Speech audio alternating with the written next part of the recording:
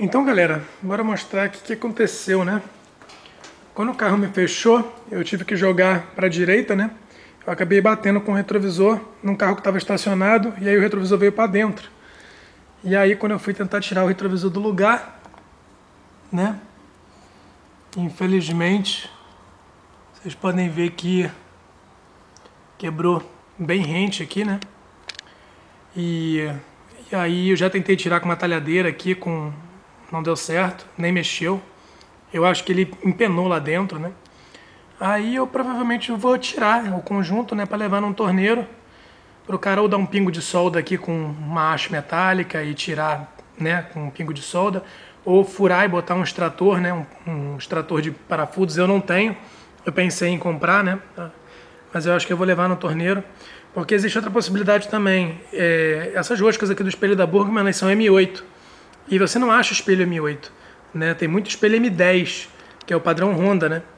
Então, eu talvez peça para ele aumentar a rosca, né, mais 2 milímetros aqui, eu acho que tem material para isso, para poder encaixar um espelho M10 de Honda.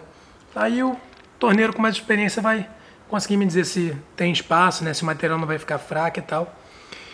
Aí veio o início das dificuldades, né? O que que acontece? Eu tenho que tirar essa peça daqui, beleza? Para tirar isso aqui daqui, eu tive que tirar, né? A carenagem da Burgman tá, tá aqui no chão, né? A carenagem frontal. O painel tá aqui, né? O painel tá aqui, eu tive que tirar o painel para ter bastante acesso ali, né? Tá aqui os espelhos retrovisores, ó, esse aqui é o que eu consegui tirar inteiro, mas ele também, assim, ele, o espelho tá bom, mas a rosca do lado da embreagem também não tá boa, e aqui foi onde quebrou, né? Você pode ver a diferença de um para o outro. Né? Aqui foi onde quebrou o retrovisor. Né? E aí, né? o que, que eu fiz aqui? A manete da embreagem, né? ela está aqui. A manete da embreagem ela não abre por completo, né? Ela só afasta de maneira que você tem que deslizar ela pelo guidão, né? Ela vai entrar aqui e vai deslizando para a posição. Só que imagina, ela está aqui, né? Como é que você vai tirar isso do lugar se você tem o punho e você tem aquele pezinho de guidão, né? Aí o que, que eu fiz? Primeiro foi fácil, soltar o cabo da embreagem mole, freio traseiro da Burgman. É, para soltar o cabo do freio traseiro eu fui aqui atrás, foi o primeiro passo. Eu soltei a porca né, de fixação aqui, ó. Ver se a câmera me ajuda aí a focar. Tá, aqui dá pra ver bem. Eu tirei aquela porca de fixação daqui, né? A haste tá solta, ela tá ali pra frente, né? Porque quando eu puxei o cabo, né? Isso aqui fica aqui normalmente, né? Aí o que, que eu fiz? Puxei a manete toda, aí você traz o cabo, né? Para cá tem uma folga, aí você só tira ele dessa, desse conjunto aqui, né? Ele tem essa, essa ranhura para isso. E aí você puxa ele para cima e solta para cá. Foi bem tranquilo, tá aqui o, o cabo, né? Então, galera, voltando aqui o raciocínio, né? Você tira o cabo por aqui e aí eu desconectei, né, o sensor do freio, né? Que a só dá partida se esse sensor aqui, ó, tiver pressionado, ele tem uma hastezinha, quando ela está aberta assim, ela deixa você dar a partida. Se tiver fechado, não deixa. E aí, né, eu tirei o punho, o punho está aqui, né? Felizmente o punho não estava colado, não tinha nenhuma cola, né? Vocês podem ver aqui que o, o guidão tá feinho, mas não tá, não tem resquício nenhum de cola, graças a Deus. Aí eu só segurei com um pano firme, fui rodando, puxando até que ele saiu.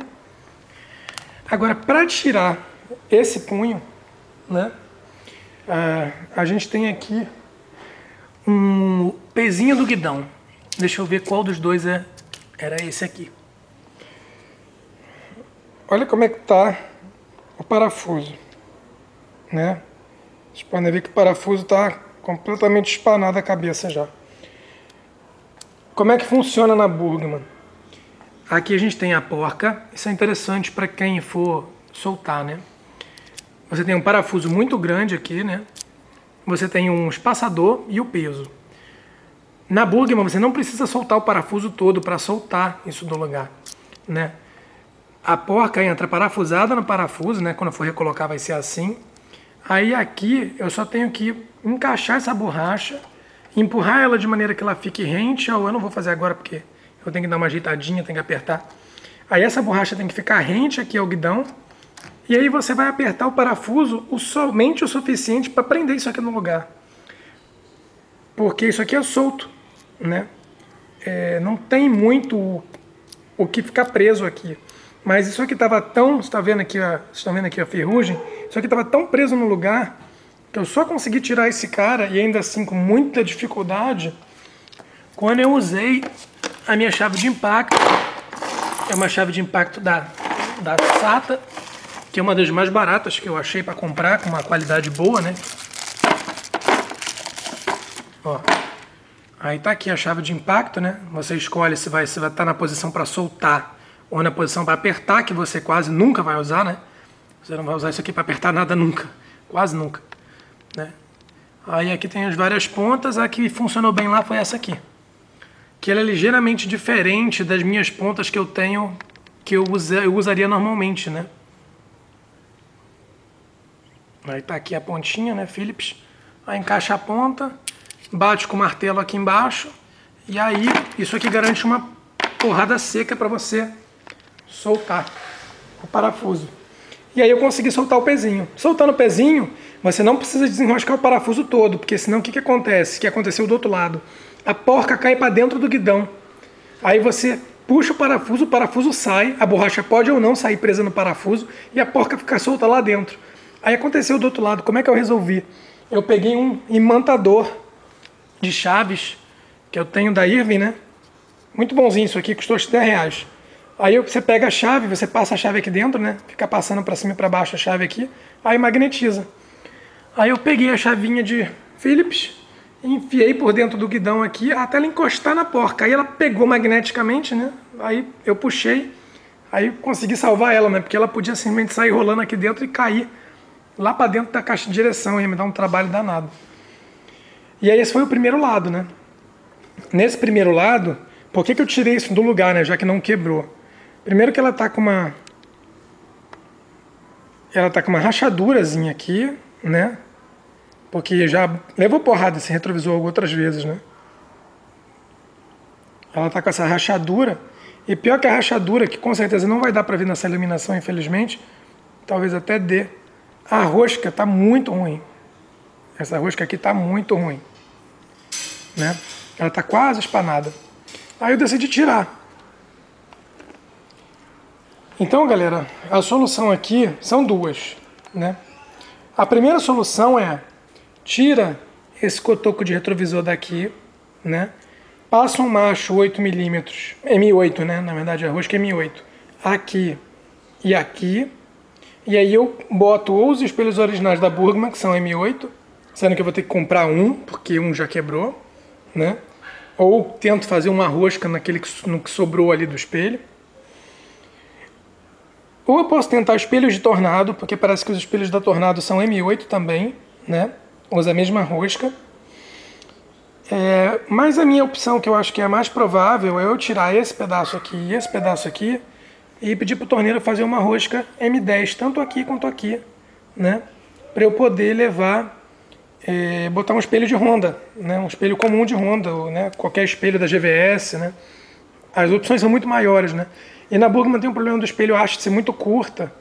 E aí você não consegue nem colocar, um, por exemplo, um, uma antena, né, corta-pipa, que, é, que é bem importante, né? Então eu teria, poderia comprar um extensor, né? Que Honda é mais fácil de achar. Um extensor e um espelho Honda grande, né? Da GVS que fosse maior, de maneira que eu pudesse ver melhor atrás de mim, né? E provavelmente vai ser esse caminho que eu vou que eu vou fazer aí. Se o torneiro disser que aqui tem material suficiente para abrir uma M10, eu acho que é isso que eu vou pedir para ele fazer. Aí agora, o que, que eu vou fazer? Eu já tirei um lado. Esse lado eu tirei também o pezinho de guidão, mas não precisava, porque ele solta aqui nesses dois parafusos. Então, como ele solta aqui, isso aqui sai totalmente, né? Isso aqui sai para trás, isso aqui sai para frente eu não precisava, não preciso tirar o punho do acelerador daqui, nem precisava tirar o pezinho do guidão. Eu tirei para ver como é que estava a situação. E não estava muito boa. Eu vou inclusive trocar os parafusos dos pezinhos. Então, pessoal, qual é o próximo passo aqui, né? Eu quero tirar o êmbolo do freio, né? Seria só tirar esses dois parafusos, botar uma um potinho aqui para não vazar fluido, tirar isso aqui, tirei fora, beleza, tiraria isso aqui daqui. Mas o que, que acontece? Essa moto, desde que eu peguei ela, ela está agarrando um pouco a pinça dianteira, né? Tanto é que o freio, o disco aqui está com um ligeiro desgaste regular aqui na, na superfície dele. É, então o que, que eu vou fazer? Eu já tenho um vídeo gravado mostrando isso, não está publicado no canal, mas eu vou editar depois. Eu vou tirar a pinça de freio do lugar, né? E eu vou abrir ela para trocar os o-rings do pistão, né? Como eu vou trocar os o-rings do pistão, o que, que eu preciso? Eu preciso tirar o pistão do lugar. E a maneira mais fácil de tirar um pistão de uma pinça de freio é justamente freando até o pistão pular fora da pinça. Para fazer isso, eu preciso do freio funcionando como ele está agora. Né? Então eu vou soltar aqui os dois parafusos que prendem a pinça, eu vou tirar ela do lugar e vou bombear o freio até o pistão pular para fora da pinça. Né? Aí eu vou ter o sistema vazio de fluido, né? Vou estar com o pistão fora do lugar, a pinça vai estar aberta para eu poder trocar os o-rings do, do pistão, né? E aí eu aproveito que o sistema vai estar vazio e tiro a parte de cima que eu vou levar para um torneiro resolver o problema da rosca. Beleza? Aí o que eu vou fazer agora é soltar isso aqui.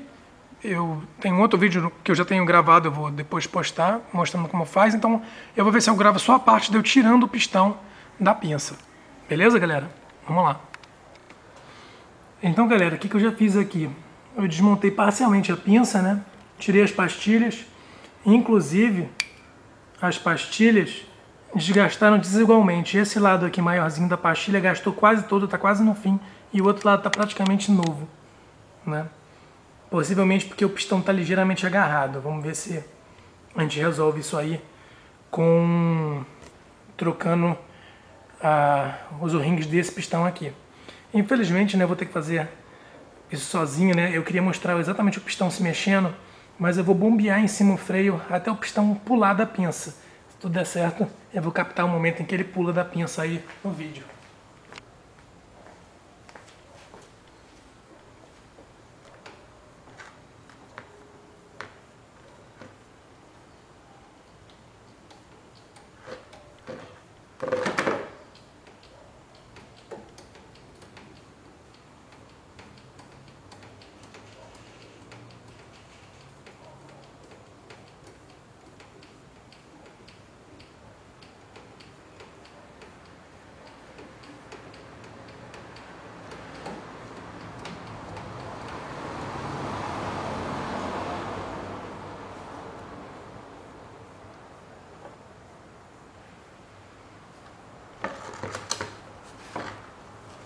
Eu vou dar uma checada para ver se tem fluido suficiente em cima para terminar de puxar. Então, galera, conforme eu fui bombando lá em cima, vocês podem ver aqui, eu espero, que o pistão está praticamente fora da pinça, né? Então, é, como eu empurrei bastante ele para fora, bombeando lá em cima, acabou o fluido de freio. Ainda bem que eu percebi. É, agora, infelizmente, talvez tenha até entrado ar, né? Eu vou continuar bombando lá para ver se o pistão vai cair aqui.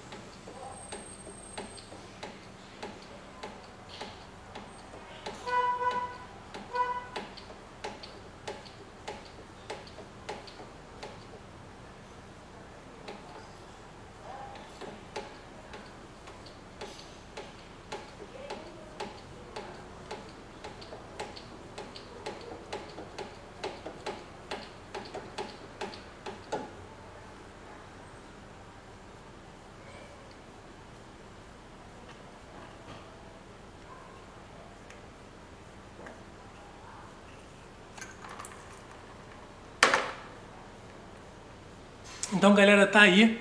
Essa é a maneira mais fácil de você tirar um pistão de uma pinça de freio. Você vai bombeando com o sistema funcionando, né? Você vai bombeando, né?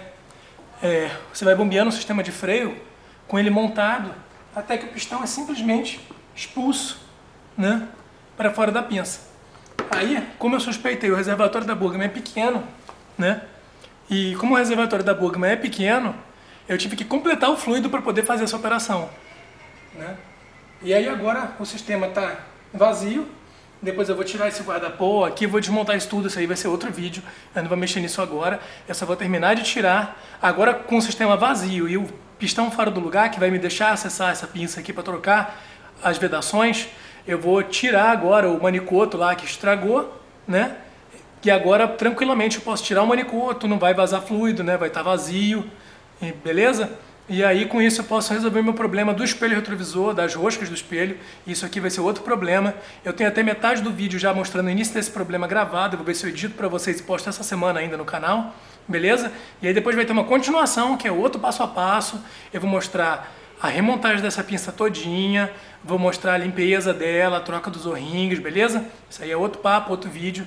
Esse aqui vai ficando por aqui, na verdade eu vou tirar lá em cima, né, o o manicoto e, e aí eu vou encerrar o vídeo depois disso. Beleza, galera? Vamos continuar aí. Então, galera, bora continuar e terminar o serviço de hoje aí. É, eu vou tirar primeiro a linha do, da, do freio, depois os dois parafusos de trás para tirar o manicoto do lugar.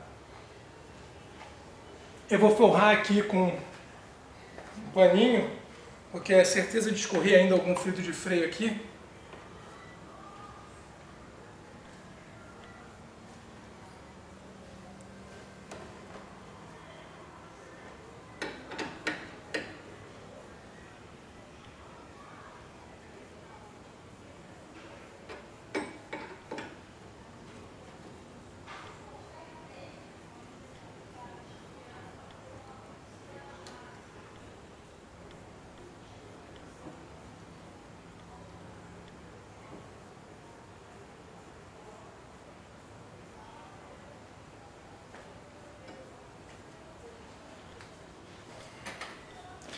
Conforme eu fiz força para soltar, vocês viram que o manicoto todo inclinou para baixo. Aí agora eu vou ver como é que eu vou prender isso aí.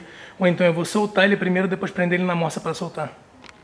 Então galera, eu vi que os parafusos 8 ali que prendem o manicoto estavam frouxos. Eu apertei os dois, agora para ver se a gente tira o, o grande.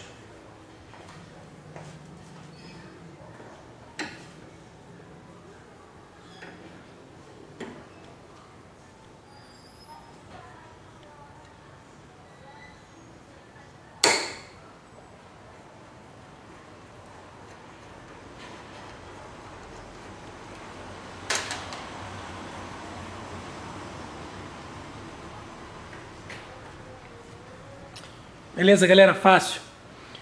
É, um dos dois parafusos aqui, o de baixo, ele estava frouxo. Ele estava simplesmente solto. Eu nunca reparei isso. Eu não mexi nisso, né? Da outra vez que eu mexi no freio. E aí, conforme eu tentava soltar esse aqui, ele girava tudo. Aí eu apertei os dois e aí fiz força aqui, aí soltou. Esse parafuso aqui é um parafuso padrão. Até onde eu sei, toda a linha de freio usa o mesmo parafuso, tá? É um parafuso 12 milímetros. Beleza? É, e essas linhas geralmente são padrões. E aí aqui no parafuso tem uma ruelinha, né? É uma arruela dessa aqui. É uma arruela geralmente de cobre ou de alumínio. Nesse caso aqui ela é de alumínio, de 1 milímetro. Tá? Eu tenho várias dessas aqui que quando eu compro esses mangotes da RCA, eles mandam várias para você, né, para você trocar. Porque, por exemplo, essa aqui eu usei ela amassou. Quando eu for apertar isso aqui de novo, eu vou usar arruelas novas, que essa arruela veda, ela massa e veda. Aí agora esse lado está solto, eu vou soltar aqui o lado de cá.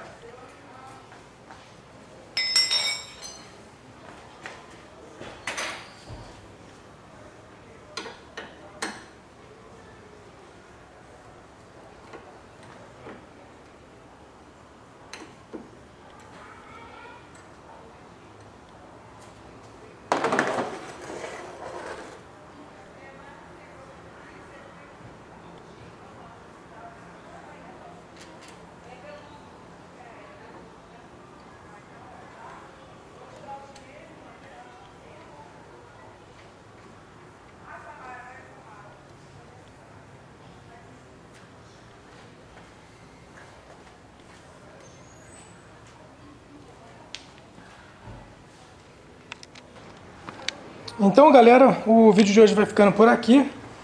A missão da noite foi concluída com sucesso. Agora eu tenho as duas manetes da Burgman soltas, né? Os dois manicultos soltos. Eu vou poder levar isso aqui agora para um torneiro mecânico. Né? Vou secar ele um pouquinho mais e tal, para não fazer a sujeira. Aí eu posso levar isso aqui agora no torneiro mecânico para ele me resolver essa questão da rosca aqui. Pensando se eu abro uma rosca M10 aqui para botar um retrovisor de Honda, né? Se não, eu dou uma olhada para ver se um retrovisor de tornado vai ficar bacana e tal, qual é o tamanho. Isso aí eu vou decidir ainda. Mas aí agora estão fora do lugar, facilita meu serviço. Aqui é só passar um macho M8 já resolveria. Aqui tem que dar um jeito de tirar esse resto de espelho retrovisor que ficou aqui dentro. Quanto à pinça, isso aqui vai ser um vídeo à parte né? Eu vou remontar essa pinça aqui com, com vedações novas, né? E eu vou amarrar ela aqui para ela não ficar pendurada pela, pelo cabo, né? E o pistão, esse pistão eu vou mostrar depois para vocês em detalhes também. Isso aqui é outro serviço. Eu vou remontar essa pinça aqui. Se bobear essa semana ainda eu vou mostrar isso aqui para vocês. Beleza? Esse vídeo vai ficando por aqui né? É, resolvendo cotoco de retrovisor quebrado. Essa vai ser a parte 1 aí. É, depois eu vou ver como é que vai ser resolvido isso aqui. Eu postei no canal para vocês. Então fica a dica. Quem precisar remover os manicotos da Burgman, esse lado, tirando a carenagem frontal e a parte do painel, você tem acesso a esses dois parafusos aqui de trás, né? É só soltar eles e aí você pode tirar ela do lugar. Agora, o outro lado não. O outro lado você tem que soltar o pezinho do guidão, tem que tirar o punho para ele poder deslizar para fora. Beleza, galera? Aí, então o vídeo de hoje vai ficando por aqui. Os dois manicotos fora do lugar, o pistão fora da pinça, que vai me permitir trocar os o-rings. E aí a gente continua esse vídeo numa outra oportunidade, quando eu conseguir adiantar ou esse serviço aqui, ou aquele serviço ali. Beleza, galera? É, pra, talvez depois desse eu poste a parte 1 desse problema da pinça que está gravado há muitos meses já, para vocês já irem se adiantando aí, já irem conhecendo o problema antes de eu gravar a parte 2, que vai ser a remontagem disso aí. Beleza? Valeu, galera, um abraço, até o próximo vídeo.